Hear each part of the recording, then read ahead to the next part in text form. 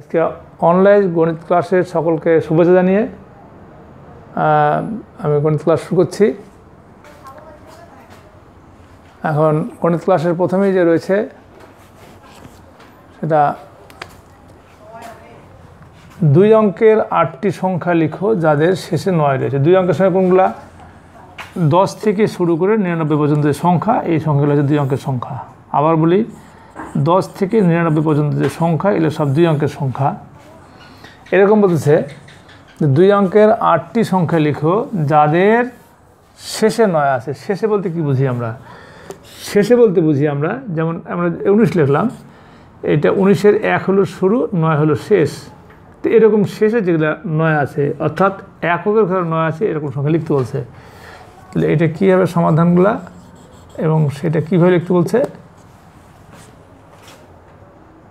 দুই অঙ্কের আটটি সংখ্যা লিখো, যাদের শেষে নয় আছে। এটা বানান করে লিখতে পারো নাই, অঙ্ক লিখতে পারো নাই।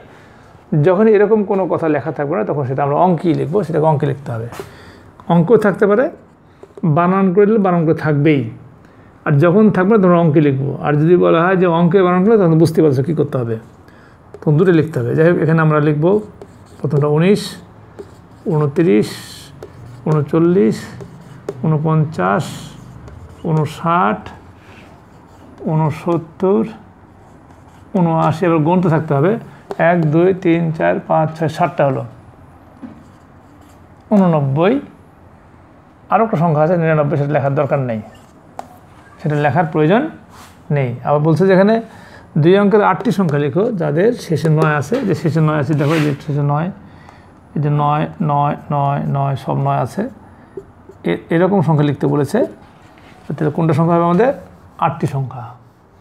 আটটি সংখ্যা হলে আমাদের শেষের সংখ্যাটার প্রয়োজন হচ্ছে না। অর্থাৎ উননব্বই পর্যন্তই আমাদের উত্তর শেষ। একটু উনসত্তর উনআশি, উননব্বই। এক, দুই, তিন, চার, পাঁচ, ছয়, সাত, আট। এই ছিল সমাধান। মনে হয় খুব একটা জটিল অঙ্ক নয়। আবার দেখে নাও, দুই অঙ্কের আটটি সংখ্যা লিখো, যাদের শেষে নয় আছে, বা ঘরে নয় আছে, সেই সংখ্যাগুলো হচ্ছে উনিশ, উনত্রিশ, উনচল্লিশ, উনপঞ্চাশ, উনষাট, উনসত্তর, উনআশি এবং উননব্বই। এখন, তোমাদের জন্য আমার দুই নম্বর অঙ্ক দেখো। দুই নম্বর অঙ্কটা বলছে এক থেকে দশ পর্যন্ত ক্রমবাচক সংখ্যাগুলো উল্টাপাশে লেখো। উল্টাপাশে কীরকম? এক থেকে দশ পর্যন্ত ক্রমবাচক সংখ্যা কিনগুলো প্রথম, দ্বিতীয়, তৃতীয়। কিন্তু শুরু করতে হবে দশম থেকে। দশম, নবম,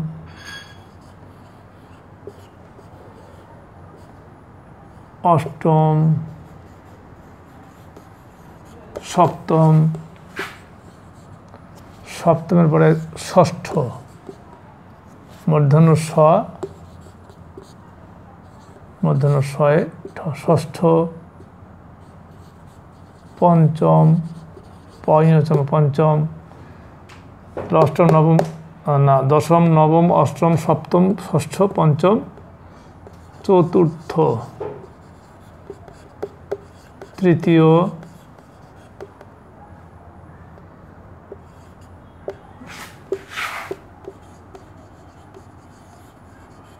দ্বিতীয়, আরটা হচ্ছে প্রথম।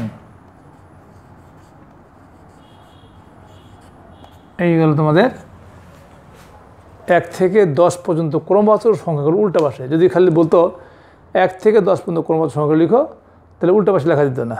কারণ এখানে সোজা দেওয়া আছে, তাহলে আমি লিখতাম প্রথম, দ্বিতীয়, এভাবে। যেহেতু বলা আছে বানান করে স্পষ্ট দেওয়া আছে, উল্টা পাশে লিখো, তাহলে এভাবে লিখতে হবে, দশম, নবম, অষ্টম, সপ্তম, ষষ্ঠ, পঞ্চম, চতুর্থ, তৃতীয়, দ্বিতীয়, প্রথম।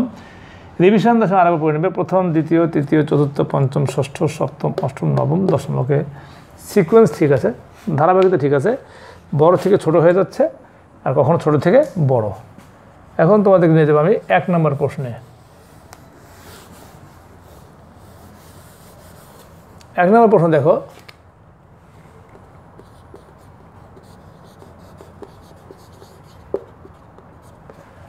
এক নম্বর প্রশ্নে, রুমুর বয়স উনত্রিশ বছর। রুমুর বয়স দেওয়া আছে উনত্রিশ বছর। ঝুমু রুমুর চেয়ে নয় বছরের বড়। তো ঝুমুর বয়স নয় যোগ হবে। আবার রুমু টুনুর চেয়ে এগারো বছরের ছোট। আমরা পরে যাই। আগে আমরা এই বয়সটা বের করে নিই। তাহলে রুমুর বয়স কত দেওয়া আছে? রুমুর বয়স উনত্রিশ বছর। ঝুমু রুমুর চেয়ে নয় বছরের বড়। ঝুমু রুমুর চেয়ে নয় বছরের বড়। ঝুম বড়। তো ঝুমুর বয়স?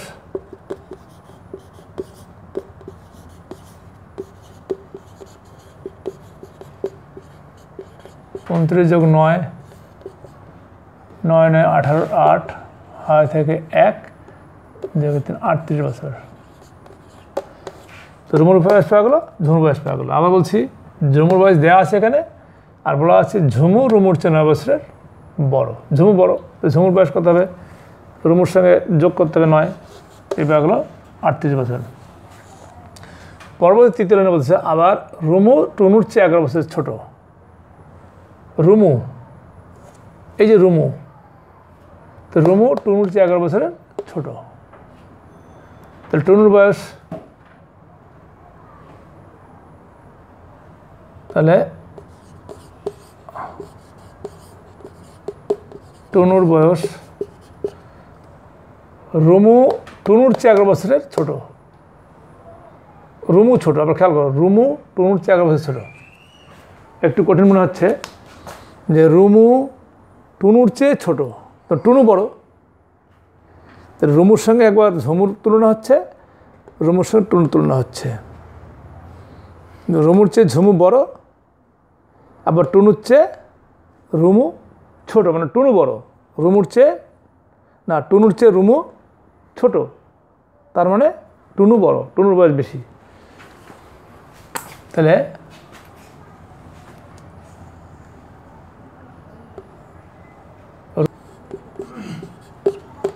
তাহলে এবার টুনুর বয়স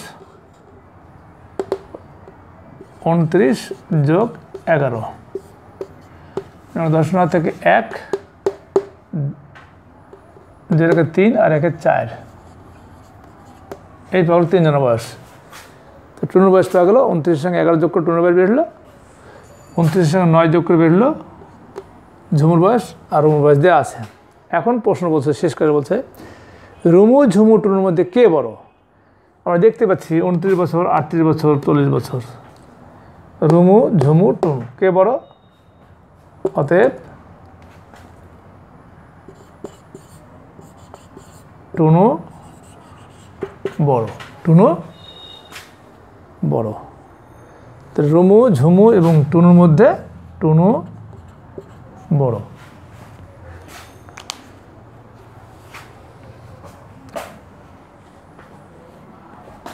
চার নম্বর অঙ্ক দেখো। চার নম্বর অঙ্ক বলা আছে,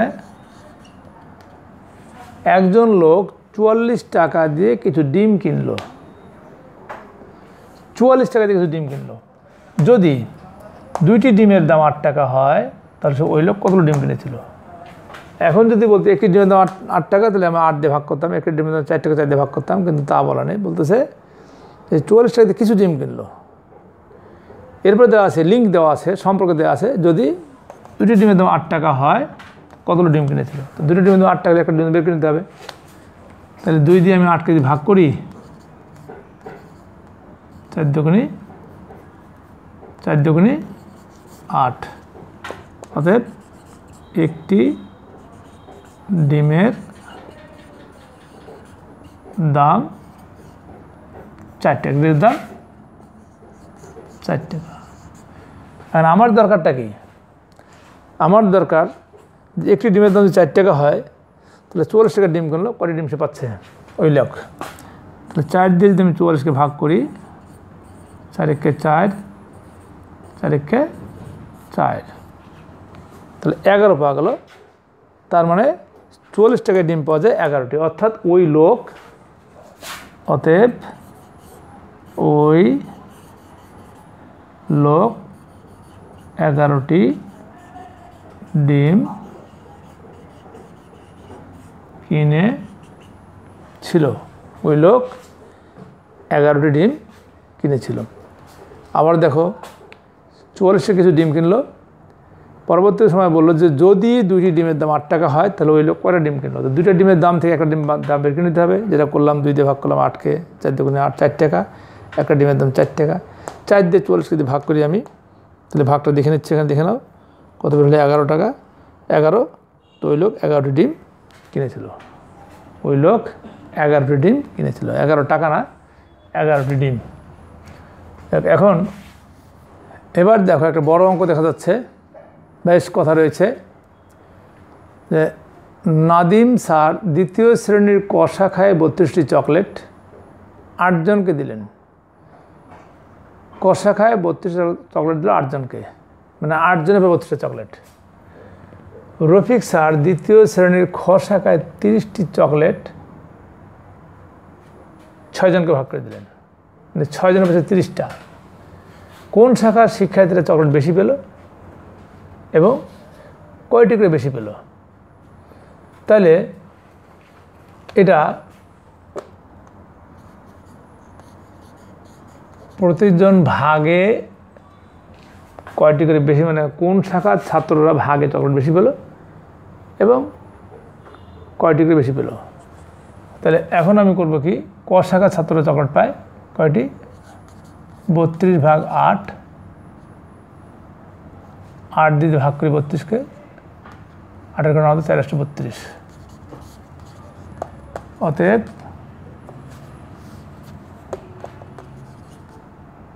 ক শাখার ছাত্ররা অতএব ক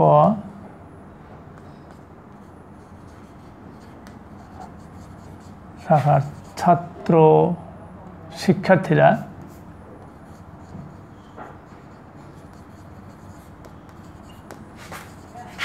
চারটি করে চকলেট পায়। ক শাখার শিক্ষার্থীরা চারটি করে চকলেট পায়। আবার ওই রফিক স্যার দ্বিতীয় শ্রেণির খ শাখায় ত্রিশটি চকলেট ছয়জনকে দিল। তাহলে চকলেট পায় চকলেট পেল। আচ্ছা এবার খ শাখায় তিরিশ চকলেট ছয়জনকে দিল। তো ছয় দিয়ে পাঁচ, ছয়, তিরিশ। অতএব খ শাখার শিক্ষার্থীরা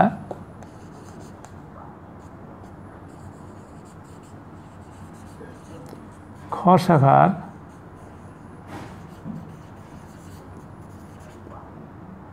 শিক্ষার্থীরা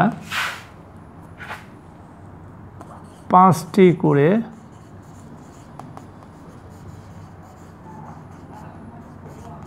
চকলেট পেল।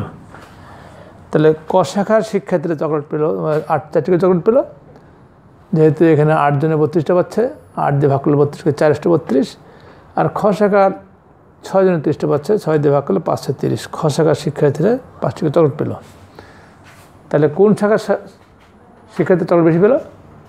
খ শাখার। এবং কয়টিকে বেশি পেল? তাহলে বিয়োগ করতে হবে। তাহলে আবার লিখতে হবে যে আমরা ব- পাশাপাশি বিয়োগ করতে পারব ইচ্ছা করলে। খ শাখার শিক্ষার্থীর চকলেট বেশি পেল একটি করে, অথবা আমরা লিখতে পারি নিচে নিচেও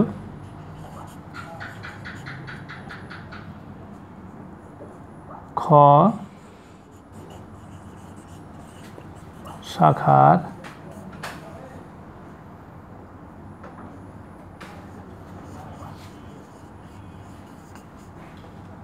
শিক্ষার্থী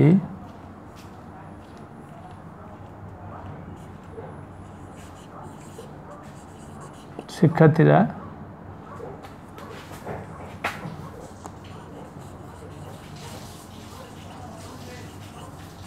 চকলেট পেল।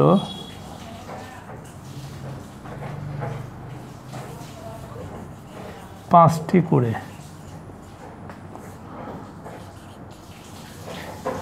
ক শাখার শিক্ষার্থীরা চকলেট পেল। চারটি করে। বিয়োগ করলে একটি। অতএব খ শাখার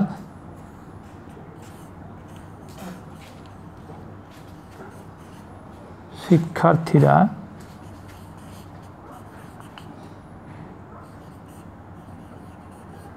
চকলেট বেশি পেল। শিক্ষার্থীরা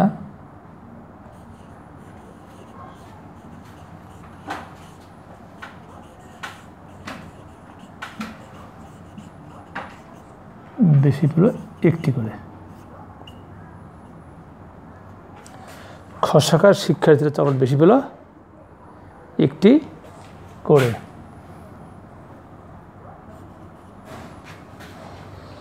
কি লিখতে বলছে? বলছে, কোন শাখার শিক্ষার্থী চকলেট বেশি পেল এবং কয়টিকে বেশি পেল? অতএব, অঙ্কটা বেশ বড়ই। অতএব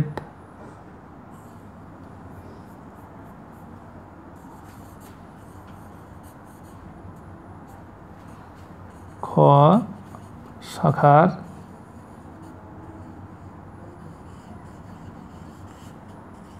শিক্ষার্থীরা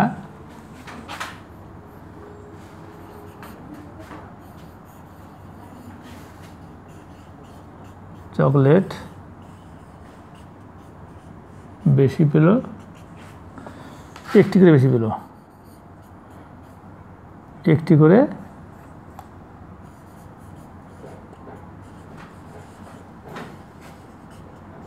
বেশি পেল।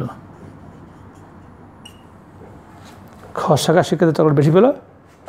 একটি করে বেশি পেল। এই হলো তোমাদের আজকের প্রশ্নের সমস্যার সমাধান। এরপরে তোমাদের কিছু হোমওয়ার্ক রয়েছে। এই হোমওয়ার্ক একটি কলার দাম ষাট টাকা, ছয়শো সাঁত্রিশ টাকা কয়টি কলা পাওয়া যাবে? বাক্যলি পাবে। তিনশো পঁয়ষট্টি দিনে এক- বছর। এক বছরে কত সপ্তাহ ও কত দিন হবে? আসলে এক সপ্তাহ সমান সাত দিন বা সাত দিন এক সপ্তাহ, সাত দিয়ে ভাগ করলে তোমার পেয়ে যাবে। আর তিরাশিটি পেন্সিল ও সাতজন শিক্ষার্থী আছে। যদি তাদেরকে পেন্সিলগুলো সমানে ভাগ করে দেওয়া হয়, ভাগ করে দেওয়া হয় তবে প্রত্যেকে এখানে তবে লিখলে ভালো হবে। তবে প্রত্যেকে কতটি করে পেন্সিল পাবে? আর বলছি, তিরাশিটি পেন্সিল ও সাতজন শিক্ষার্থী আছে। যদি তাদেরকে পেন্সিলগুলো সমানে ভাগ করে দেওয়া হয়, তবে প্রত্যেকে কতটি করে পেন্সিল পাবে? এটা ভাগের অঙ্ক। ভালো খেয়াল করবে বাসায় করবে। আর এ সপ্তাহের যে কাজগুলো করানো হলো, এ সপ্তাহের কাজগুলো তোমরা বাসায় ভালো করে দেখবে। এগুলো কিন্তু তোমাদের পরবর্তী পরীক্ষার সঙ্গে প্রশ্ন কিছু যুক্ত হয়ে যাবে এবং এখান থেকে কিছু প্রশ্ন আমরা পরীক্ষা দিবই। এই জন্য ভালো করে তোমরা প্র্যাকটিস করবে। তো যাই হোক, আজকে তোমাদের অনলাইন গণিত ক্লাসের এখানেই শেষ করছি। খোদা হাফেজ।